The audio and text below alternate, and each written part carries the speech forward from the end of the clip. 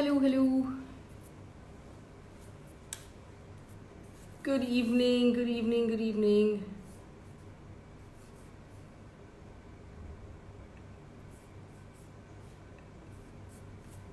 Let me tell you, let me give you quick updates about good news before my guest comes in. And I have somebody really cool joining us tonight.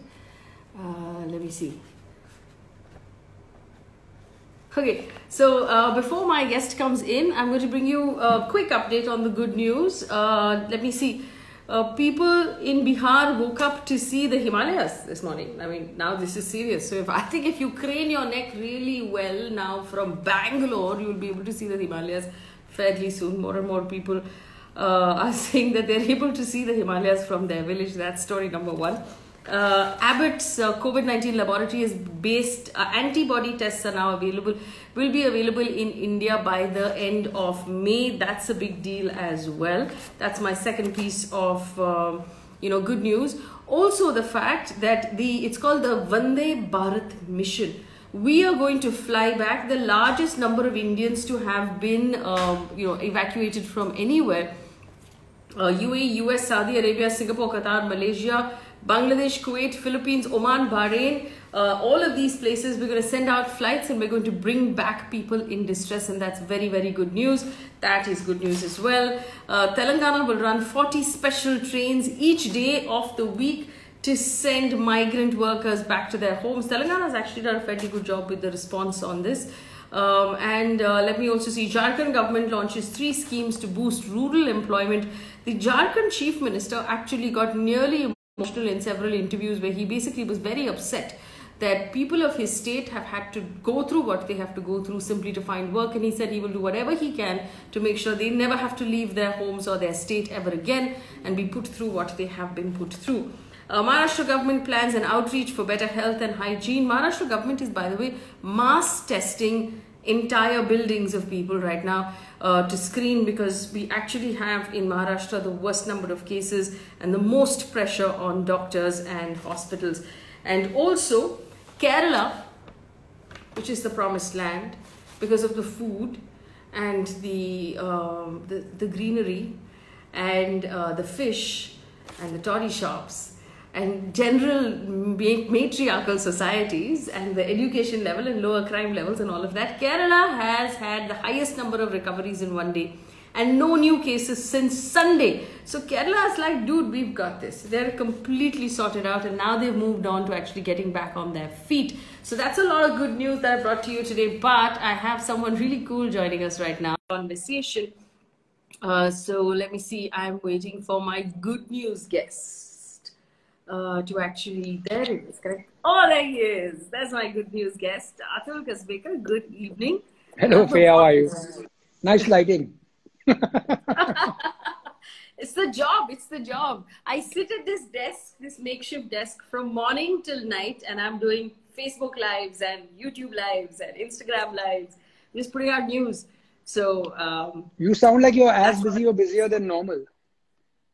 I am far busier than normal. Uh, the lockdown has really pushed me to sort of figure out how to do this without needing like a team.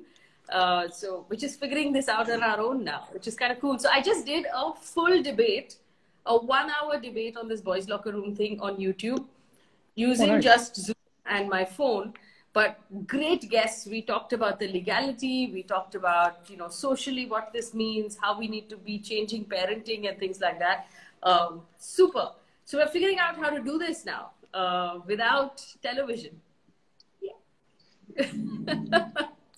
Before Sorry, anything else, I have to tell you the uh, the girls in my office. We had our office meeting on um, on video this morning on Zoom, and they said uh, they'll kill me if I don't uh, like tell you that they're all like super fans of yours, and especially Swati.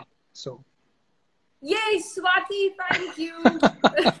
so now you know you know, girls are awesome. I think girls are amazing. Amazing. Girls are awesome. All right. They, so best thing that ever happened. Yeah. That is true. That is true. So um, there's so many things I want to talk to you about, but there's one specific thing that I really believe you can help people out with. A lot of the guys who tune in to this live are young. They're also uh, people who work in art and people who work in films and people who work in photography and advertising, a lot of them work as freelancers. They have not had any formal work now for 40 days. And that's a very different feeling from those who have, say, jobs and your boss is sort of paying you, your employer sort of paying you, so you're okay until you're not. This is a very different way of life. Uh, do you have any advice right now for those people who are wondering what to do? Well, um, first things first, I mean, hang in there. Mm. Uh, like most important. Uh, like, and I think things will get a lot worse before they get better. And I honestly am the eternal optimist, but uh, I'm also pragmatic about these things. Uh, the, the first place people will cut uh, budgets will be things like advertising. So if you're freelancing in the arts, chances are that there will be a slash uh, in the budget. Which, by the way, we have forgotten that the economy was in like some serious doldrums uh, prior to this COVID thing.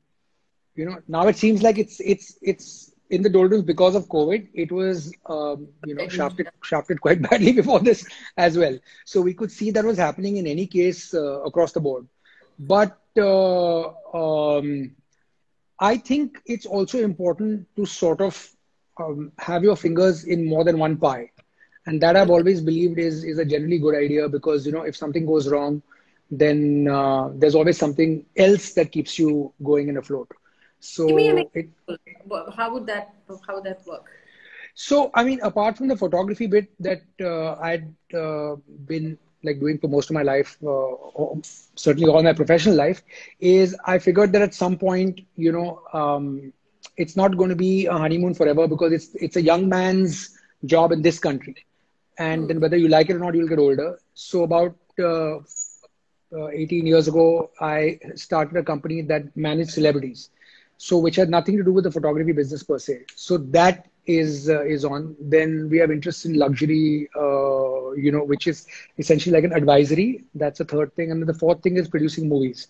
So um, and uh, once in a while I'll put a little bit of money in some tech startup or something. So far, so good. Done all right. So, so, but but I think yeah, but I think it's important to yeah, you know, to diversify and not just be in any in, uh, any one thing. But that's I suppose a long term game. Right now, I would just say hang in there, especially if you're in this sort of thing. Then uh, whatever. But there's a lesson here. I think all of us, by and large, have realized that you know you can survive in eight t-shirts and four pairs of shorts, and you know, and you don't really need like I'm. I mean, I'm genuinely embarrassed as to the number of things I have.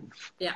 You know, and it's it's like I mean, and if Obama, uh, according to Michelle Obama, he wore the exact same black tuxedo, not suit, tuxedo, for eight years in the Oval Office. If it was good enough for Barack, uh, it's good enough for anybody. I know. It's it's amazing how uh, we're walking around these homes full of things that we're not touching because we're yeah. actually just living in this like circular four t-shirts uh, you know uh, three pairs of shorts and some four other things that you actually need to use the rest of the stuff is just lying there it's amazing yeah. uh, i mean it's it's i it's an embarrassment how many shoes i have and you know i have you're sarah jessica parker then so but I'm, I'm sarah jessica parker of ted okay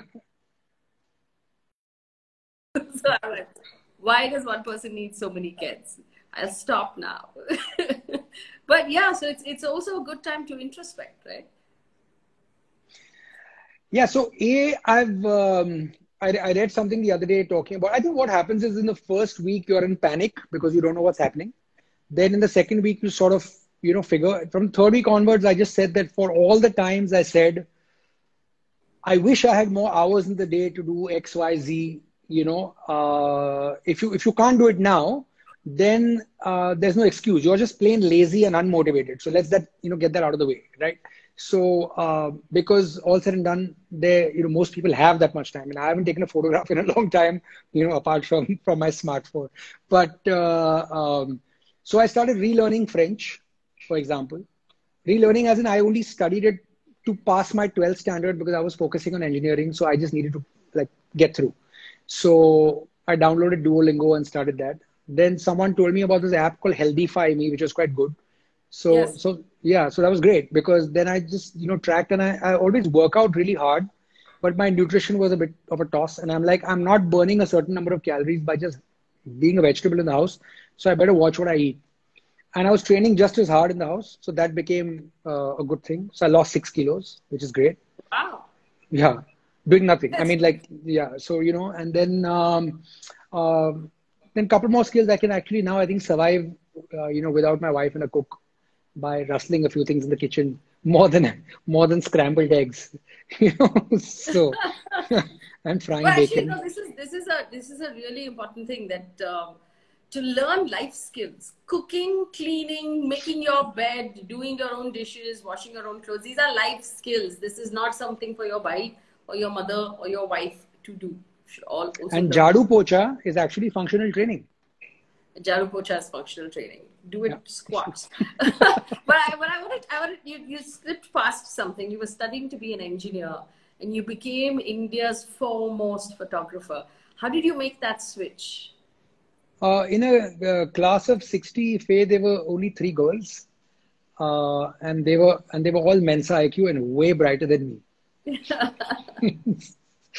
no, no, I just I just hated I just uh, hated chemical engineering uh, um, because I guess I didn't know enough. You know, when I got it, I had the grades to get in in in in, U, in what was called UDCT, uh, probably the best chemical engineering institute uh, in India by far, and amongst the best in Asia at that time. And uh, then one year down the line, I realized that it's not what I really wanted to do. Um, and then a wise man, namely Prahlad Kakkar of all people, who would think that you would quote Prahlad? So Prahlad, Prahlad told me that 95% of humanity goes to work every day you know, and only 5% do what they enjoy. You know, I'm sure that percentage is a lot better now, you know, but uh, only 5% do what they enjoy. So find out what you enjoy because then you'll never be going to work. Mm. And I said, okay, this is interesting because I never want to go to work a single day in my life. So that's been my motto. So I'm the only one who uh, hops out of bed and is like, is like, you know, all raring to go on a Monday morning and people are like, go away, you know, where's the, where's the, where's the, was it difficult to convince your parents uh, that you didn't want to be an engineer and you were going to be a photographer? No, it was really difficult, and with genuinely no disrespect to uh, you know people who who who then shot weddings. The the image of the photographer was the guy who stood at weddings and got everybody in one line and said cheese, steady, you know, whatever. So they were like, no way, you know, we can't possibly have you doing this kind of thing. I said, know, there's a different world of advertising which really wasn't uh, like that well known. So, but I wasn't prone to doing uh, you know stupid things. It's not like I ever drove too fast or you know mm. or got wasted too often or whatever. So you know, I mean, I, I guess they figured that he's he's not uh, uh, nuts. An irresponsible person. yeah, right. So um, I I do know that you know um, we've been we've all been sitting at home and we've been reading about everything that's going on. Um, I, I just want to you know put up this one piece of news that just today, uh, the Maharashtra government has sent notice to 25,000 private hospital and clinic doctors. Doctors who are not part of government hospitals but have private clinics or they have private, they work in private hospitals. And they've been asked to report to work at COVID government hospitals because right. we're running out of staff. Because A, there are a lot of doctors who have tested positive. Yeah. Um, so they have to be replaced because when you test positive, you have to be treated, and then 14 days after that, you are quarantined and things like that. Plus, the number of cases we have in the city right now is just overwhelming. So while it's you know while these doctors have been told to you know present themselves at these hospitals and report to work, it's so important to keep our doctors safe because if we don't keep our doctors safe, then what are we doing? I mean, how, what hope do we have, right? Yeah, I think I think it would be I think uh, health healthcare anarchy. You know, if there's literally no one to take care of you. So um, I believe the situation's improved a bit now, but uh, at one point about two weeks ago, 15 hospitals in central and south Bombay were pretty much uh, not functioning or functioning literally for emergency cases. So really bad time to sort of badly turn your ankle or need some kind of surgery, you know, that uh, take two Crocin and don't call me in the morning, you know, whatever. So one, of, one of those things. But uh, so um, I've been watching actually what Manish Mundra, who's a fellow producer, uh, owns a company called Drishyam Films. I actually have never met him. He's based out of Lagos, Nigeria. And uh, he's made some really nice films, like Kaamyaab recently, which is very good. uh, then you know Masaan and uh, yeah, you know and Newton and so on. So and he actually has earmarked the better part of a million US dollars of personal money because he realized this what you're saying very early that if we do not protect our uh, healthcare uh, officials, then it's a very, very slippery slope uh, downhill. And my simple philosophy in life is, you know, um, uh, which I think uh, it's not my original one. I'm sure you've heard enough times, but you know, lead, follow, or get out of the way.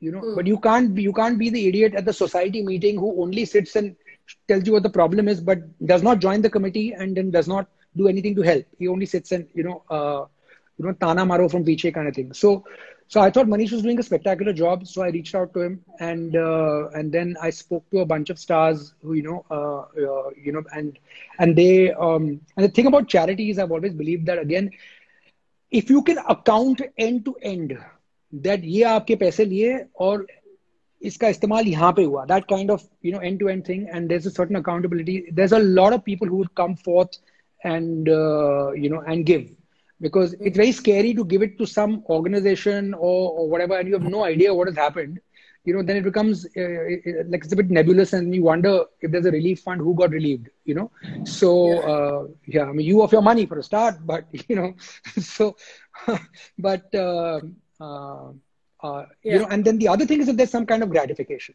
so I've been doing this Nanhi Kali, uh, you know, proud fathers for daughters for, for, girl child education now, you know, for six years. We've sent about 5,000 girls to school. And my fellow photographers and I, you know, will shoot for free. And, you know, and uh, uh, people who come then essentially buy a print and the cost of one yeah. print sends a girl to school for, for one year. But even if you don't care about girl child education, the point is that you're getting some of the better names in the business, take your picture and leave you a memory on your mantelpiece for life. So, you know, so the gratification exists. So here we've got a shout out, uh, you know, platform called Tring that depending on how much people give, and we only count in terms of kits, then the stars are, uh, you know, either make, making a mention or, or, or, doing a video shout or then even a video call. So we've got um, uh, Vidya, Sonakshi, now Farhan's come on board, uh, Veer Das, there's Mrinal Thakur, Pooja Hegde is coming on board, uh, lots of people. It's fun. So, so nice. basically, for, for people who are watching right now, and here's the here's the important thing. Another thing I want to point out: it's not just about providing the PPEs to the doctors. We also have to properly kit out our nurses our ward boys, the right. people who serve the food, the people who are running the hospital and administration. All of these people need to be properly looked after in order to make sure that our healthcare industry can continue to fight this horrible virus. So if you want to donate a PPE suit, they're about 650 rupees each and you can donate in multiples of 650. Go to tring.co.in. Uh, on the homepage, you'll see photographs of all these stars. There's Vidya Balan, there's Sakshi Sinha, Harsha Bhogle, there's Atul Kasbekar, now Veer Das and Farhan Akhtar. Click on the star you prefer to donate to, and that money will go to a to buy a PPE suit and send it to a hospital. Where are you sending the ones in your name, um, Atul? Oh no no I'm I'm not that world famous in India so uh, I'm I'm just, I'm just I'm just doing the I'm just doing the collating of uh, of all of it and uh, uh, you know and and having it sent out to wherever it's needed in fact today we put out a tweet and we've got uh, so it goes like specifically uh, either where it's fully required uh, mm. or uh, you know if somebody has a preference so for example Pooja Hegde who's coming on I think from tomorrow her yeah. Uh, her big base is uh, in Andhra and Telangana because she's a big star in the Telugu industry. So she wants it to go to government hospitals in that region. So fair enough. So, so we'll send it wherever uh, it, it's needed most. And now all the CMOs are in touch with Manish directly, and uh, uh, you know it's become a reasonably well-oiled operation. So that's good. In fact, our next stage now is going to be oxygenators because right. there's like a desperate need for those. This is what the website looks like. It's tring.co.in, and you guys can go and click on any of these celebrities and make your donations accordingly. Um, you know, pick someone you want to partner with. Mandira Bedi is also there. She's Mandira is there. Harsha is there. Yes, yes. Harsha is there. So you can you can click on someone and donate with them, and they will make sure that the money reaches the right place, and that's really important. And not only that, they'll say thank you to you personally, either by yes. writing or on a shout or a call. Or they make a call or whatever it is and say thank you to you personally. So, um, yay! And so far, how many have you done? Uh, I know that Vidya Balan sent about 2,000 uh, PPs. That was the first lot that went to Kasturba. There's more coming. I, I think we are close to the 10,000 mark. Wow. So, yeah. So that's pretty good. And, so, and again, uh, to just remind our audience that these are disposable. So once they're used, they have to be taken off and thrown away, and the doctor has to then the next time put on a different suit. Which is why you can never have enough of these, and um, you know why this is something that we need to keep doing until this, uh, you know, this uh, boogeyman of the COVID virus is out of our system. Atul Kasbekar, thank you for My pleasure. and saying hi to uh, all of our viewers, and of course giving out that really important advice. Remember um, to not hinge completely on one industry, to try and pick up more skills that will keep you relevant. Hang in there. This is a tough time for everybody. It's tough financially, it's tough emotionally, and it's tough mentally. And I'm going to try and make you happy every evening at 9 o'clock. That's the point. All right. You're doing so a fine job. Thank you, Faye. See you. Thank you. So stay home, guys. Stay safe. Stay happy. Good night. Night.